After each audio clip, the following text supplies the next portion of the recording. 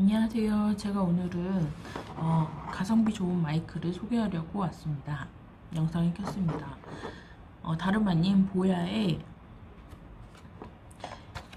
BY-M1이라는 마이크인데요. 제가 여러가지 마이크를 써봤습니다. 다양한 마이크를 써봤는데 음, 최근에 써, 쓴 마이크는 슈어 MV88 플러스 비디오 키트 마이크인데 그 마이크를 쓰다가 제가 불편함을 느껴서 바꾸게 되었습니다. 가격 이 보야 MPY M1 마이크는 일단은 라인이 길고요. 라인이 길고 여기에 PC와 카메라에 연결해서 쓸 수 있도록 이렇게 전원 공급을 할 수 있도록 여기 이 안에 이 배터리를 넣고 사용하면 카메라와 PC에 사용할 수 있도록 되어 있고요. 그렇지 않을 경우에는 스마트폰만 쓸 경우에는 그냥 연결해서 쓰면 됩니다. 여기 오프 버튼 있죠? 오프 버튼을 누르고 그냥 쓰면 됩니다. 그리고 마이크는 제가 이거 다 조립했는데 간단하고요. 이, 이 덮개와 이 핀만 잘 이렇게 딱 꽂아주면 됩니다. 이렇게 사이즈가 되게 small 사이즈라서 간편하고요. 그리고 이거는 음향기기에 연결해서 쓸 수 있는 부품입니다. 이거는 가격은 19,000원대에 샀습니다. 배송비 2,500원 제외하면 17,000원, 17,000 얼마죠?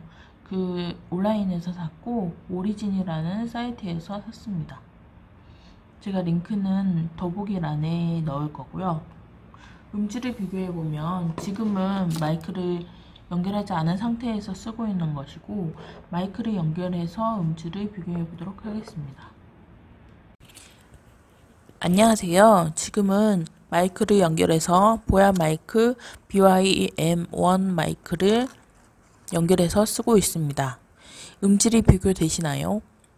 그리고 제가 지금은 음, 이런 가벼운 마이크를 선호하게 된 것은 제가 슈어 MV88 플러스 비디오 키트 마이크를 썼는데 그 마이크의 단점이 라인이 짧아서 어, 먼 곳에 이동하거나 이렇게 이동하면서 찍을 때 되게 불편하더라고요. 그래서 마이크를 바꾸게 되었습니다.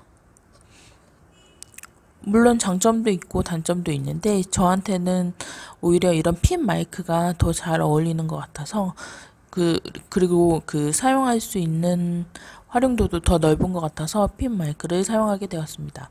앱을 별도로 깔지 않고 사용했는데 앱을 깔아도 될 것 같아요. 근데 앱을 깔지 않고 동영상을 켜고 스마트폰 동영상을 켜고 바로 이렇게 녹음이 되는 거를 보고 너무 신기하고 간편하고 좋았습니다. 그럼 음질 비교해서 들어보시고 어, 지금 당장 스마트폰만 사용해서 혹은 카메라를 사용하고 있거나 PC를 사용할 때도 이 마이크를 활용하실 수 있으니까 보야 BYM1 마이크 한번 써보시는 것도 괜찮을 것 같아요. 19, 배송비까지 포함해서 19,000원대로 저는 구입을 했으니까 그럼 오늘도 저희 영상을 봐주셔서 감사하고 바이